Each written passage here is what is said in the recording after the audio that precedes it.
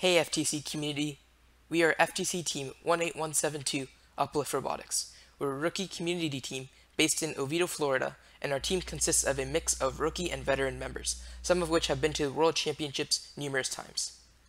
Over the course of the summer and potentially into the upcoming season, we will be releasing several videos, starting with CAD for now, with room to expand to other aspects of FTC. I'm Nitin, and you'll see me around in some of the CAD videos, and some of my other teammates will join in for other videos as well. In terms of what to expect from our CAD videos, we'll be using PTC Creo as our primary CAD software.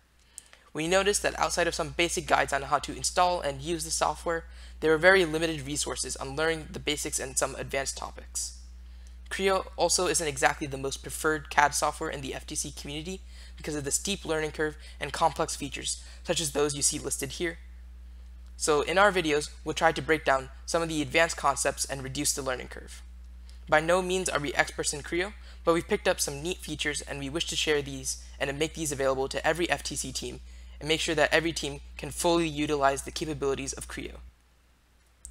So if you're interested in our videos, please make sure to let us know in the comments or reach out to us on our social media if you have any suggestions for what you would like us to dive into.